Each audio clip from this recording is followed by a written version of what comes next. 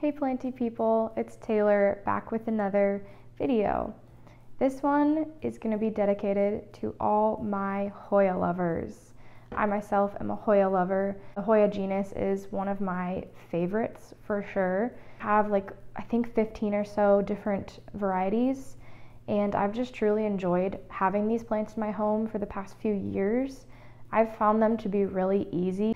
They just seem no fuss, they grow really well, and they're just great. So this video is just celebrating Hoyas. I'm going to be showing off dif- different ones in my collection and giving you some different care tips, tricks, advice, kind of how I take care of mine, what seems to work well for me.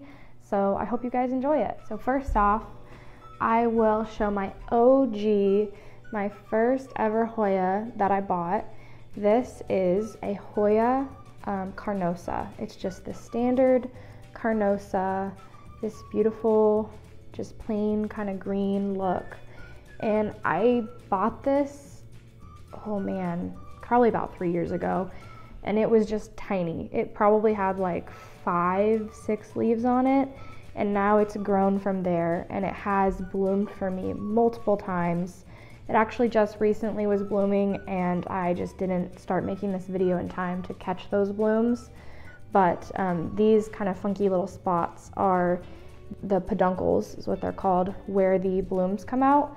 And if you leave them they do tend to rebloom. So i've gotten quite a few blooms out of this guy. And um, yeah it's beautiful. This is actually one of my hoyas that lives in a lower light spot. Typically hoyas like higher light. But i've had good luck with this one living in my bedroom window, which is actually more of like a northeast. Not the brightest, but this guy has really been um, enjoying it. It's been doing well. It actually put out like the biggest leaf it's um, put out so far living in that window. So, yeah, my OG Hoya carnosa. So, this is my beautiful Hoya linearis.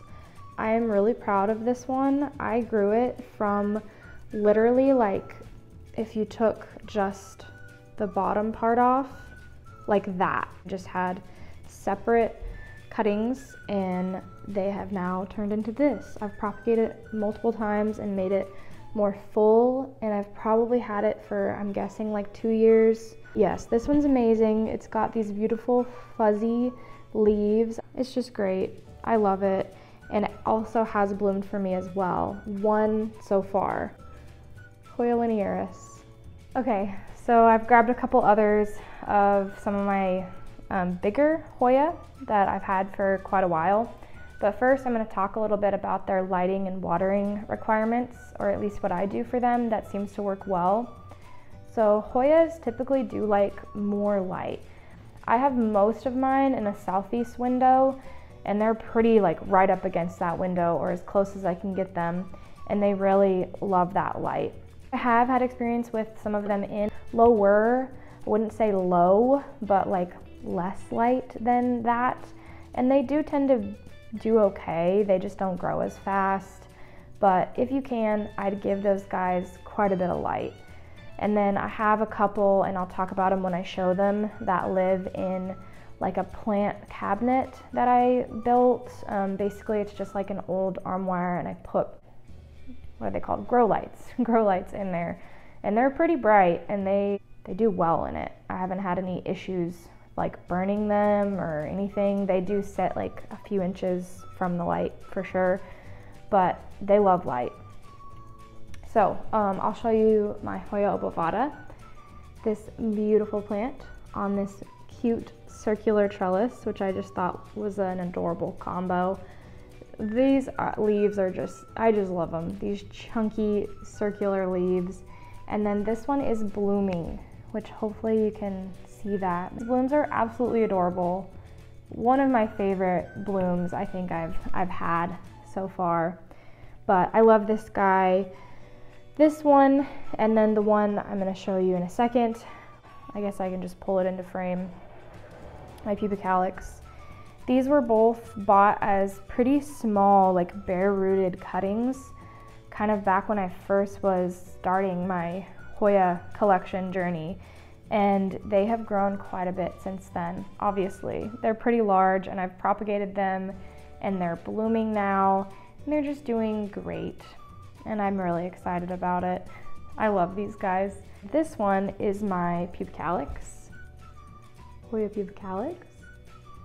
You can see it's got a little bit of this kind of peachy sun stressing on some of the leaves, which is another fun thing that Hoyas do when you give them quite a lot of light is they can sun stress. And the sun stressing does look different on all the different varieties. And Hoyas get these crazy tendrils, I guess you could call them. These, yeah, insane. They'll wrap around each other, which is really cute. And then you can just kind of like stick them around a trellis. They're gonna try to grab onto things. I've had them grab onto my blinds, just anything they can. And um, don't cut these off unless you want to like shape your plant more. But a lot of times they'll stick these runners, whatever you want to call them, out and then they'll grow leaves on them. This one's a little crazy. I've been trying to train it around this trellis, but it's gonna need something bigger soon because it's going crazy. But look at these amazing blooms on this pubicalyx. These are probably my favorite blooms that I've had in my collection. They're just big, beautiful, this full bundle of them. Love them. So that's pubicalyx. As I grab this other one, I'll talk a little bit about watering requirements. So Hoyas don't need a ton of water. They're definitely underwater friendly. Um, I probably water all of mine, I'd say between every two and three weeks. Some of them fall outside of that depending on what kind of pot they're in, what size pot they're in. Obviously, if they're in like a really tiny pot, this one's in a pretty small pot, terracotta, closer to two weeks or maybe even a little more frequently than that, but you can really let them dry out. And then the ones that are in bigger pots, like the ones I just showed off, probably closer to every three weeks that I water them. And then I have some that I'll talk about uh, later that are in even bigger pots or like plastic pots I water close to maybe once a month. So they really don't need a ton as far as watering. And another good way that some people tell is just by feeling the leaves. So I've noticed with a lot of these plants that have like thicker leaves like this, they don't tend to need as much water. Now, each one's gonna be different. Do your research, obviously. I don't have a ton of the thinner leafed Hoyas. I'd assume those would need more water but you can kind of feel the leaves. So this one I did just water like yesterday. So it definitely has plumped up already, but there is a slight bit of bend to the leaf. Maybe you can see that.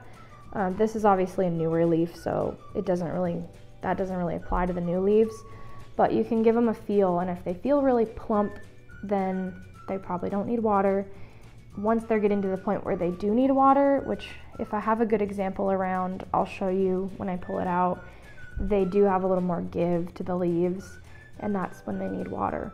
Check the soil trick, stick your finger in the soil, see if it's dry. They can get pretty dang dry before you water them. Or I like to go kind of by like the weight of the pot, so I know what it feels like when it's heavy and watered, and then I'll, I'll pick it up and know like, okay, it's pretty light, it probably needs water. But yeah, as I've sat here and talked about watering, I didn't mention the what this one is. This one is my Hoya Macrophylla albomarginata, which I think someone told me recently that it might have changed to Hoya latifolia or something like that, but it's one of those. It's very cute. It's also on a little trellis. But like I said, this one's a good example of how it kind of shot out this runner. I wrapped it around and then it decided to put out some leaves on the end. And it, it'll probably put leaves out further down, but yeah, it's a little cutie. Okay, I'm back. I put some away and I got some others out. So now the ones that I'm gonna show you next all live in that kind of grow cabinet I was talking about. If you watch my houseplant collection tour, you got a view of it. It's just, it's literally just an armoire and it's got grow lights in it and they all live, you know, a couple inches below those grow lights, but pretty dang close to them. And I'll link the grow lights. They're amazing. I have them on timers and all my higher light plants that are in there seem to really love them. Now all these Hoyas, they definitely bloom way more than my other ones.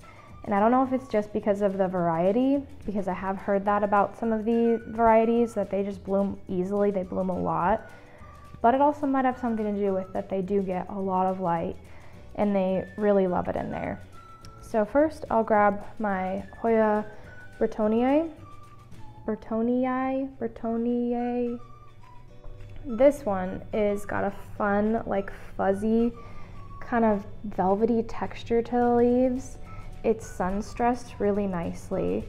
It's got the, these like purple edges to the leaves and this like purpley sun stressing. This is also one of mine that blooms a ton. It's got peduncles for days on here. I could probably count, I don't even know, 10 plus peduncles on here, but right now there's no blooms that are open, which is kind of a bummer. But yeah, Hoya species Affinity Bretonniae, I believe is what it is. And then next to that, I've got my Hoya, I think this is Hoya Krohniana Silver. I'm pretty sure, or maybe Lacunosa. Those seem very similar to me, but I think it's Krohniana. Another one that blooms a lot for me, and it has these adorable fuzzy blooms. They're so cute. They're like fuzzy white. Some of these are falling off. But yeah, it's got probably like three right now that are open and then a bunch that are coming in. While I'm holding this one and just thinking about more things that are amazing about Hoyas, they're pet friendly, pet safe. So if your dog, your cat takes a nibble of them, they'll be okay. They're not toxic, which is really awesome. I do have a dog. Luckily, she does not care about my plants. She's never tried to nibble one or anything like that, but if you're a pet lover, you have some fur babies and you want to have plants and you're worried about your pets taking a nibble of those, Hoyas are great to have because they are non toxic, which is awesome. So, another great thing about Hoya. This is my variegated Wayetii. I think sometimes it's called a Kentiana, but I'm not sure if that's a totally different variety but it basically looks like a Wayetii. It's just variegated. And holy cow, this one has been, it hasn't bloomed before until the last couple weeks, and it is my most prolific bloomer yet.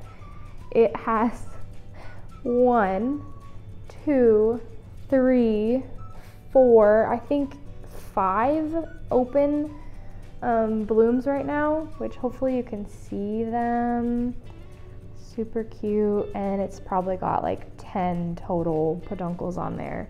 But this one is gorgeous and I love it. And this one, a couple of my Hoyas are just kind of sitting in these cover pots. That it's just sitting inside there. Almost all of them are in terracotta, but I do have a few that are in plastic. So obviously the ones that are in plastic are gonna hold on to moisture a little longer and not need watered as often. But um, Hoyas do really well in terracotta. And then, you know, the plastic, they do fine too, but just don't water them quite as often. Yeah, so cute. Love, I love them all, as you can tell. Okay, so we've kind of covered some of the basics on like watering and lighting. So another thing I was thinking about is like pests, common pests with Hoya, and how I combat that. So some common pests, pests that I've dealt with, mealybugs, mealybugs like Hoya, and that goes for the regular fluffy, gross mealybugs that you see on the surface of the leaves, but also root mealies. I have had root mealies, I think, on at least my Hoya carnosa, regular Hoya carnosa. I use like a systemic and like, you know, I tried to get rid of as much of the soil as I could, fresh soil, systemic, and that has seemed to have dealt with the problem. At least the plant seems happy, it's growing, it's blooming, but I haven't pulled it out of the pot in a while to see if there's any more root mealies on it. And then mealy bugs, just the regular kind that you see on the surface of the leaves. I have noticed them on like My Hoya bretonii, I've had like one, and I don't know where it came from. I just killed it with a little bit of alcohol and good to go. You can wipe them off with alcohol. You can spray your plant down with, there's lots of different treatments out there. I'll link some common products that I use as well, just for general pest prevention and management. Another thing I like to do is I bring my Hoyas to the sink and I like to just blast them, just spray them off with water all over the leaves, all the surfaces, just try to spray them down to possibly blast anything off that's on them. And then another common one that you're probably hearing about if you're a Hoya lover is flat mites. I know that that's another uh, common pest that we're just kind of hearing more about in the Hoya community. I've never gone as far as to get like an actual microscope and see if I have them. I'm sure I do. I'm just living in denial. but I mean, my Hoyas are really happy. They're all growing. None of them have like weird markings really or anything that would make me suspect something like that. But that is a common pest that attacks Hoya. And those are really the, the only things I've really dealt with is mealybugs. I think spider mites are another common one, but I've, I think I've maybe had them on my linearis. I wasn't even sure if they were spider mites or soil mites. And I sprayed it off really well with like Captain Jack's and, you know, for a little while and I haven't noticed them since. But there are some, some pests that definitely target Hoyas or are common with Hoyas. Those are a few that I've dealt with but they're pretty hardy plants overall. So I was kind of already showing it, but this is my Hoya kerrii um, splash, I guess it would be considered. Yeah, pretty cool one. Not a whole lot to say about it. I haven't had it that long yet, but it's a pretty good one. And then I've got my, my Hoya obovata variegata. Cutie Look at that. It even had a peduncle or, or two, but I don't see them now. I might have cut them off when I um, tried to cut it because there was one vine, like this vine's more variegated. This vine, for some reason, has these leaves that are not as variegated. So I cut it here, and then that's where like one leaf was variegated, one wasn't. And these new ones, not really very variegated. So I'm probably gonna chop it again. But another fun thing about Hoya, um, as far as propagation goes, which I'll kind of talk about because this is one that I've recently propagated, and then I'll show you an, another one little propagations that I've um, rooted. So they're pretty easy to propagate, and what's great is they will put out roots pretty much anywhere on the stem. There's really no specific place you have to cut. I would just cut like above a leaf. For this particular plant that I'm trying to increase the variegation, I'd probably try to cut to the last like pretty variegated spot and then see if, if it puts out a more variegated vine.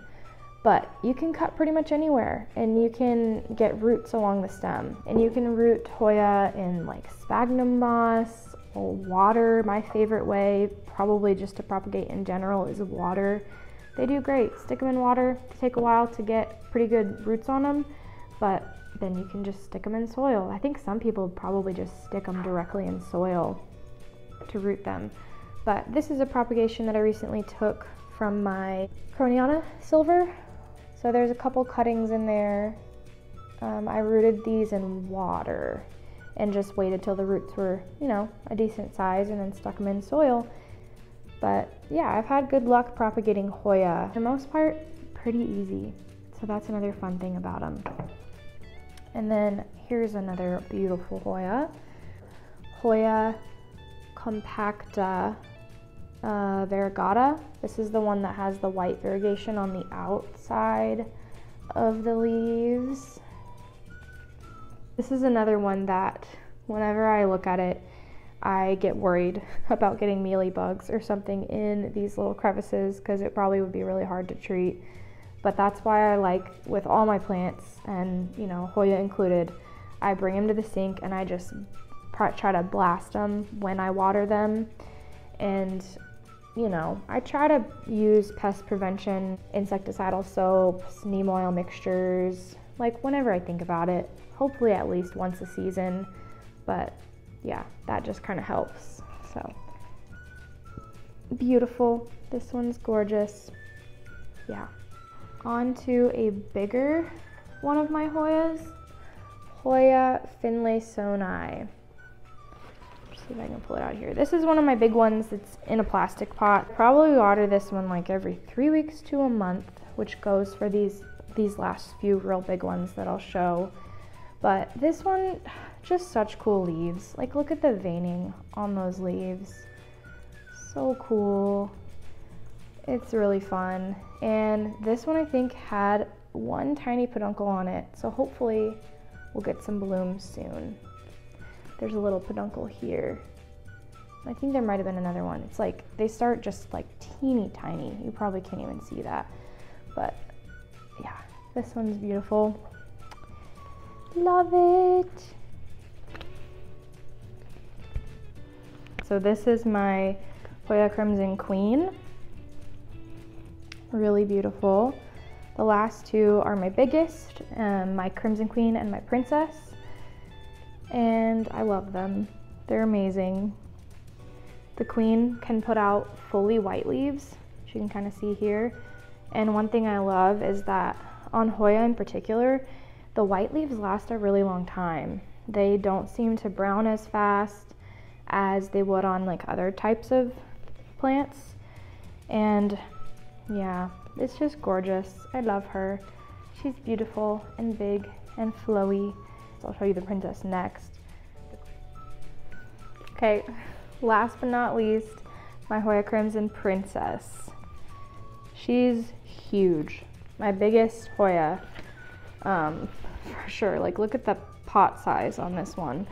This one I water like once a month or less. It takes a while for this to dry out. Um, so this one's a really gorgeous one. Pretty easy to find as well. And I don't have a whole lot else to say about her. So those are my Hoyas.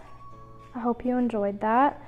I hope you're a Hoya lover like me, and if not, maybe this convinced you to become one because Hoyas are amazing. And like I said, they're easy, they're no fuss, they get a bad rap, I feel like, for being slow growers, but I've not noticed that in my experience. They maybe take a little bit to get established, but once they're established, they pop off and they grow pretty fast. They're super fun plants to have. I highly recommend you try one if you have not yet.